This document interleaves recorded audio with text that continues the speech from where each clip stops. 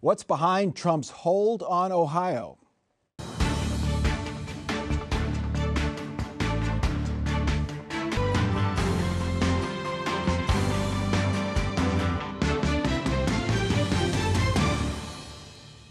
Welcome to Columbus on the Record. After this year's Republican primary, there can be no doubt that Ohio remains firmly Trump country. His endorsement of Bernie Moreno led to the Cleveland businessman's landslide primary victory. The last two times Trump was on the ballot in Ohio, he won by a half million votes and eight percentage points. He dominates all but the urban counties. His opponents are baffled by Trump's lasting appeal. Of course, his ardent supporters are baffled by the appeal of Joe Biden. Mark Weaver, you know, it's been nine years since he became a candidate, and he's he's still a strong personality, and a dominant political force. What is the appeal, especially here in Ohio? Well, for some candidates, you have to do a lot of reading to find out about them, find out their position. This candidate was the star of the number one reality show in the country, The Apprentice. Most Americans felt like they knew him. And then he was president for four years, got a really good chance to know him. And we're largely divided right now. Some people just don't like his cup of tea, and some people really love it. In Ohio, we have more of the kind of voters who think that sort of bold, say what comes to your mind leadership is what Ohio needs. He's likely to win again this year. He's won this state twice by eight points. Is it? Does he tap into a? an anger among the voters in Ohio? Does he tap into a resentment? Because he's he's just a, he's a sort of a negative campaigner, basically. He, he is a he has a blunt, bold force uh, speaking out what, for what many people think is a messed up system of government where we're constantly in debt, where we're not respected around the world, where we have hostages in the Middle East we can't get out. Uh, we have high prices at the stores. To a lot of folks, it sounds like Jimmy Carter for those of us who remember the Carter years. And Trump comes in and speaks his mind. Even his opponents will acknowledge nobody's telling him what to say. Joe, how do you view this? I will tell you, I have the answer to this, or I should say, I had the answer to this the day after the 2016 election, thanks to WOSU. I was listening to the report the very next day, and the reporter was interviewing a voter, a Trump supporter from eastern Kentucky. And she said, We finally have a president that speaks and or that thinks and speaks as I do. That told me everything that I needed to know. And, I, and Mark got very close to that in, in, in mentioning his, his list of, of, of faculties of, of appeal uh, uh, issues uh, that, that people can relate to. And I agree. The, the, lately, this this whole thing, which is, by the way, worldwide phenomenon of the strong man, of the authoritarian figure, seems to resonate with a large percentage of the population in Ohio and in some other states. You know, in Western Pennsylvania, there's a reporter who covered that race, Salena Zito, and she famously said that reporters took him literally but not seriously, mm-hmm. and his voters took him seriously but not literally. That continues to be true. And to that point, Joe, I mean, he famously in 2017 told a crowd in Youngstown that all of the manufacturing jobs from the factories that were empty were coming back and don't sell your homes because all these jobs are coming back. Now, the jobs basically stagnated while he was president. Right. COVID interfered, of course, but he didn't fulfill that promise, but it didn't hurt him in that area. In fact, he got more votes the next time he was on the ballot. Yep. And a lot of this comes down to style over substance. I mean, Donald Trump has a style that a lot of Ohioans like. It's that no nonsense, I'm going to tell you what I think kind of style. No pussyfooting around, you know, that none of this, uh, you know, just hanging on and, and saying whatever sounds politically correct. And people like that. What about January 6th, Mark? I mean, a lot of, even some of his pretty strong supporters, not as far, far ardent supporters, but some of his ones who were supportive of him said, okay, this was a bridge too far. That has not really hurt him in the state either. No, he, he, later that day he came out and said, everybody be peaceful and go home. And some people said, you should have done it two hours earlier. Most of his supporters say, listen, let's have a rule. You break the law, you go to jail. Let's not have a rule that says you break the law and you're one party and you go to jail, and you break the law and you're another party you don't. And so the consistency and the hypocrisy is what resonates with Trump voters. I'm not going to I'm not going to agree that that's in fact what is happening. Plenty of Democrats go to jail for breaking the law.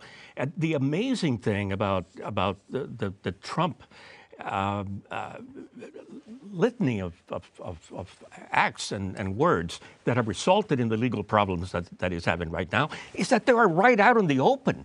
I mean, we saw these things happening live and, and in many instances on camera.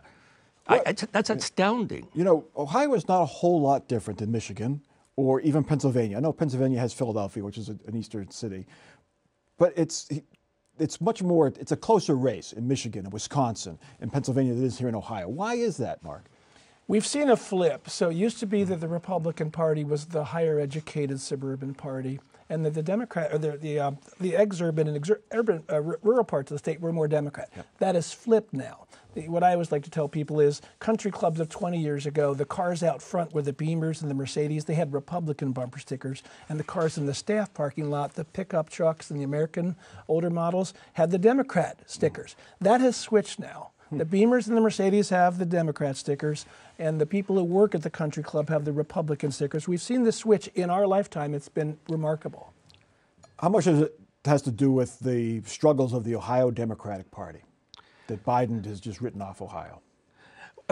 Well, if, if Biden has written off Ohio, it has been because of recent history regarding Ohio voting. Now, some of that may in fact have originated from gerrymandering and other political experiments, quote unquote, that, that we have experienced in the last 20, 25 years. And that might change. It did in Michigan when the, the, the the gerrymandering yeah. was was uh, was put up to uh, public uh, input. Okay. And and I think that will happen. Let's get to the next topic. The state of Ohio has had term limits for more than 30 years. Basically, all state elected leaders are limited to eight years in office. They have to run for a new office after eight years, or they have to find another line of work. Now, three decades later, some question whether term limits are producing better government and lawmaking. Former House Speaker Larry Householder wanted to scrap them or extend them. Current House Speaker House Jason Stephens floated the idea in December, and last week Senate President Matt Huffman agreed that changes to Ohio's term limits amendment would be a good idea. Jo Ingles, the leaders seem to want it. Do lawmakers at the State House, are they ready to put this back on the ballot? Well, it's really complicated because this would require the voters yep. to take action. So, uh, whether lawmakers want to put their neck out there to put this on the ballot is another question. Because if you look at public polling, voters still like the idea of term limits. They really do. So, are you going, if you're a lawmaker, are you going to put something out that you know the voters are probably going to defeat and you're going to use political capital doing that? Um, you know, that it's a big question. Joe, is it is it automatic defeat? If it yeah, for the voters? Yeah, you know, and the polling is amazing. 87% of the people seem to think that term limits are a good idea, and some people think that it should be a one and out. Uh, but basically, what they're telling you is that they are unhappy with overall with with the systems. You know, some people believe that maybe they're happy with their individual representative whom they know and they see in church on Sunday and so on, but not with with the overall system. But I, I, will tell you that I personally think that term limits were a bad idea, not because it empowers the uh, administration, the fixed uh, administration, that it's, that it's nonpartisan, uh, but because it empowers the lobbyists. They're the ones who know. Mark, how, how about instead of scrapping it, you change it? You say, okay, you can serve 16 years total, but you can't come back. You can't switch houses, you can't switch chambers. 16 years total.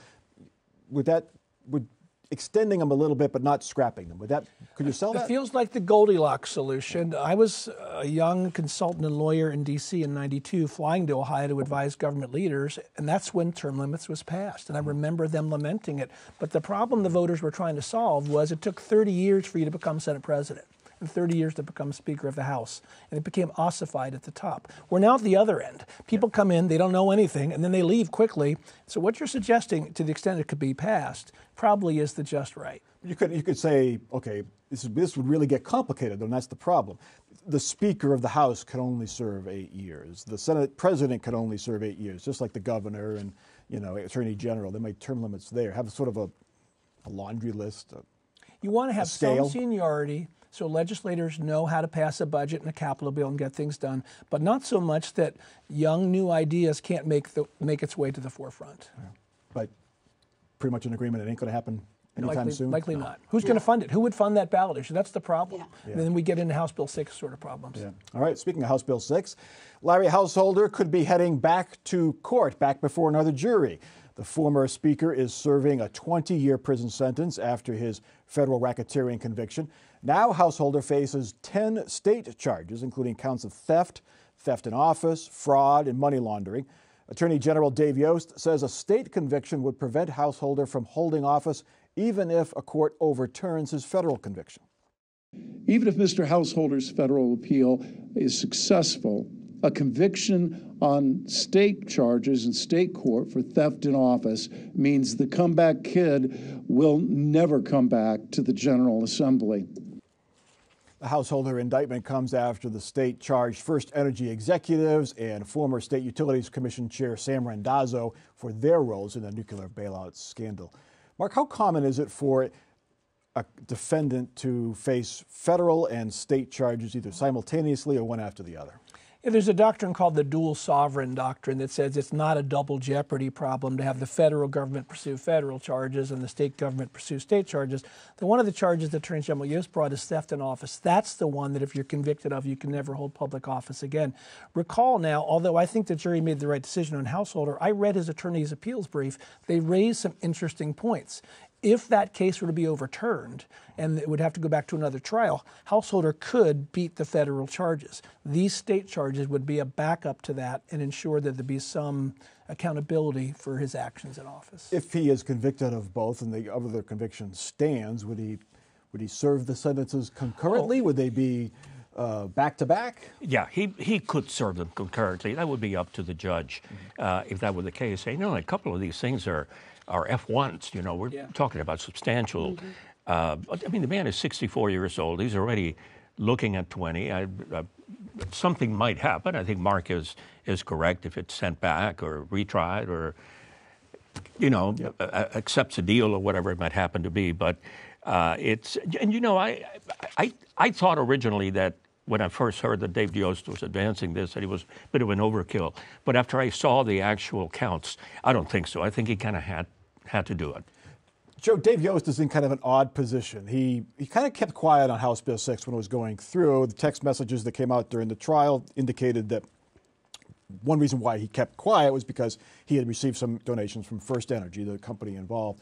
Where, what politically, what does this mean for him? Do you think can he be impartial in this? Can he just prosecute this as the chief law enforcement officer of the state?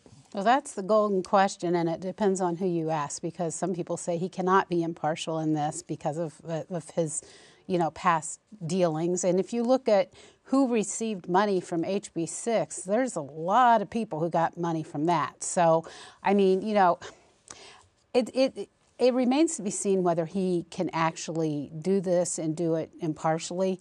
Um, I'm sure there will be people pot shotting him all along the way, though. We see this at the federal level, Mark, when the uh, when a Democrat president and attorney general charges a Republican, and vice versa. There's always accusations of pol- politics involved. Is there any other way around? Is there any way around that? No, and this is a Republican attorney general prosecuting a former Republican speaker. Dave Yost, like Mike DeWine and Betty Montgomery, were pro- they were all prosecutors before they were attorney general. Some attorney generals weren't. Cordray wasn't. Dann wasn't. Lee Fisher wasn't. He was the Delaware County prosecutor. Everyone agreed he did a great job up there. He didn't have to bring these charges. He did. I think it was the right thing to do. Yeah, and remember the original uh, federal charges were as a result of an investigation initiated by a Republican U.S. attorney. It gets complicated in that there might be there could be other people charged down the road. I mean, right. folks in the DeWine administration. Jon Husted's name came up in some of the charging papers in the federal. His name didn't, but his executive too, which is Jon Husted came up in that. They could be potential rivals down the road. What, what troubles does that lead? Well, uh, we elect our leaders in Ohio, including prosecutors and attorney generals. There will be natural questions about whether people act properly. But remember, a jury has to unanimously agree that all elements of every charge were proved beyond a reasonable doubt, and that is a backstop to any political shenanigans how how long will the state charges? Will they take as long as the federal charges? God, those take state forever. court moves faster than federal court typically. will be five years before this is all resolved. No, but it could it could be a year and a half or something like that. All right, so so if this could happen before any appeal, as based on the pace of federal court, is, is settled. Federal appeals go slowly. There are speedy trial implications of trials, and so I would expect the state court will move faster than the federal appeals. All right. For the first time since voters enshrined abortion rights in the Constitution, advocates have filed suit to change state law. The ACLU and Planned Parenthood Friday filed suit challenging Ohio's 24 hour waiting period before a woman can get an abortion. They argue the waiting period has no health benefit and lacks any medical justification. They say the law now clearly violates the state constitution. The suit also challenges requirements that clinics provide information about abortion alternatives and test for fetal cardiac activity. Joe Mas, you know, these the 24-hour waiting period was here when Roe was the law of the land.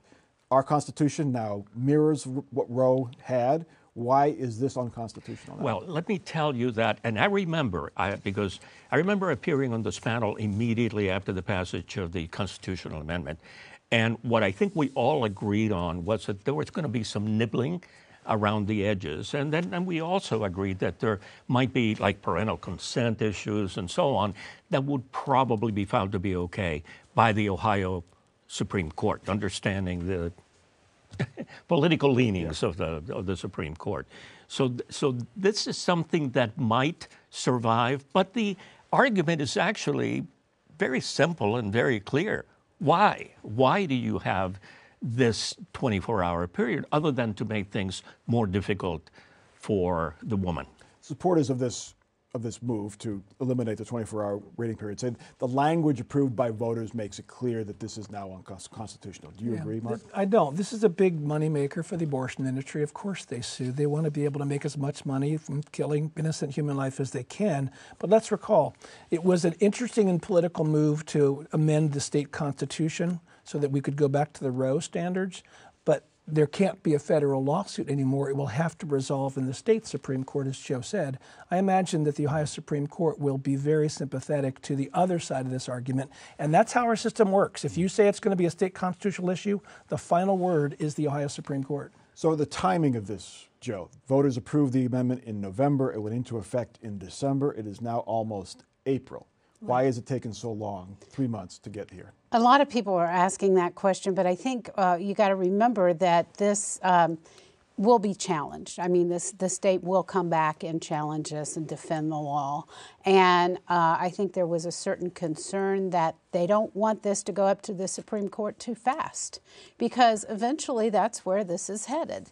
And if it gets up there too fast, and uh, the Democrats, you know, this this is something that, believe me, both sides, Democrats, Republicans, are going to be campaigning on this issue hard, because who is elected to the seats on the Supreme Court in November will have a huge bearing on how the Reproductive Rights Amendment is applied from there on out. There are three seats up for election this time, two, in, well, three incumbents mm-hmm. running.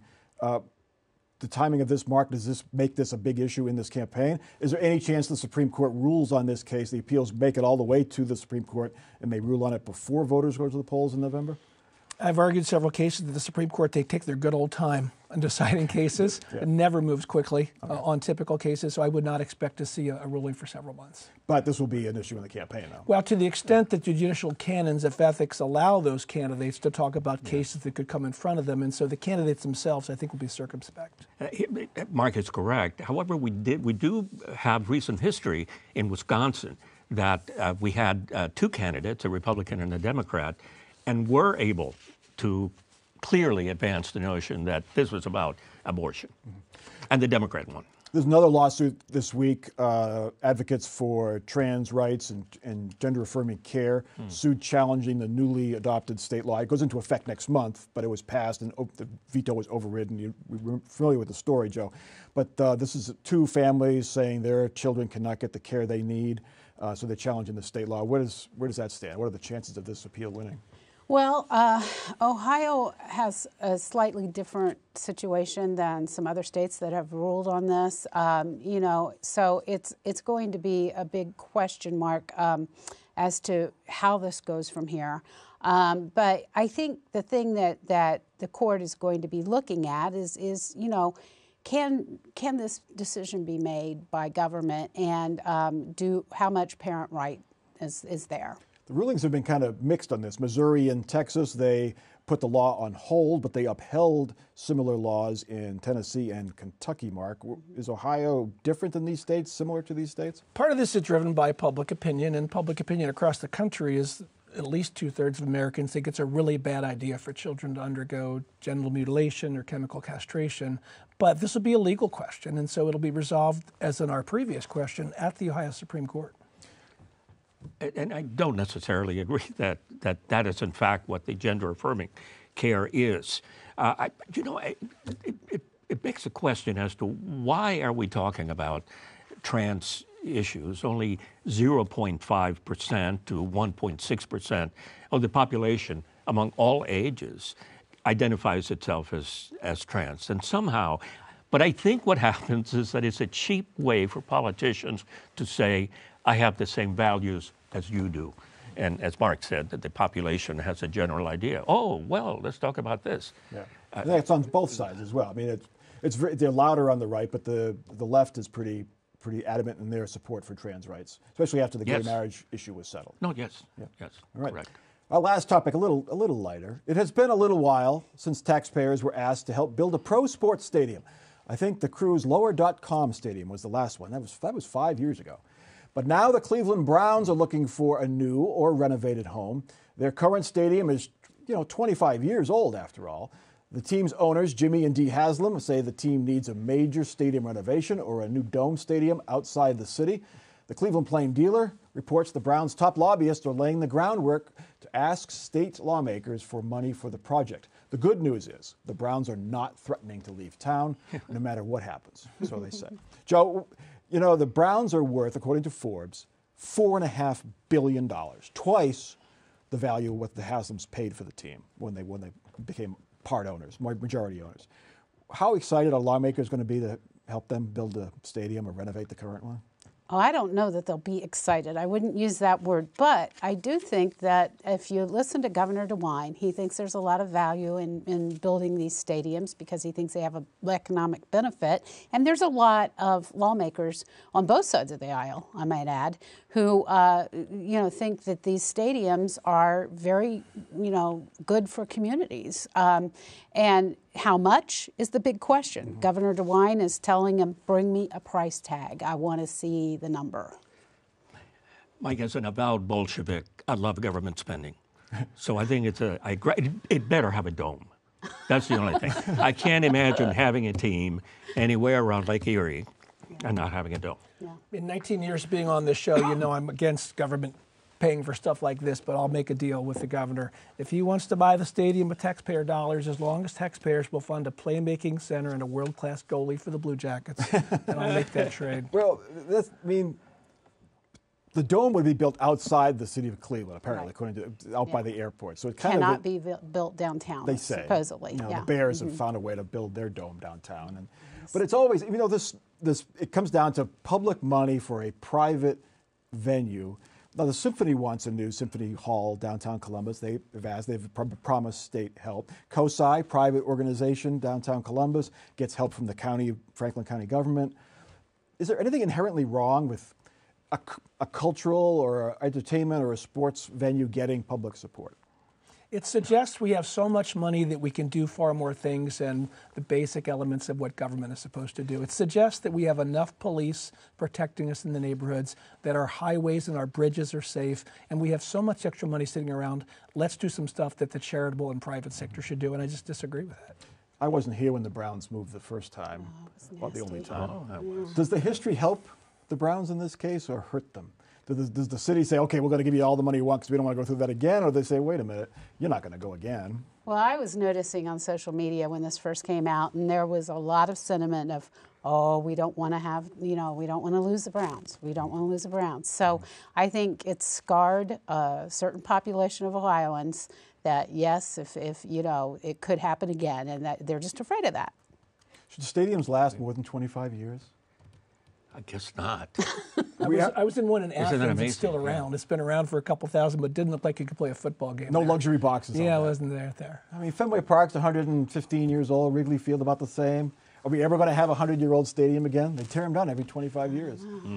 All right, let's get to our final off the record parting shots. Mark Weave, you're up first. Uh, it's Easter weekend, and on my X feed this week, I posted an article by Charles Colson, who was now dead, but he was a Watergate conspirator, and he became a pastor. And he said, For those who don't think Jesus really rose from the dead, remember that only took a few weeks before the Watergate conspirators all gave up the lie. And Jesus' disciples, none of them ever did. They were poor, educated people, and they went to their grave saying, Jesus rose from the dead. So happy Easter, Amen. everybody. John.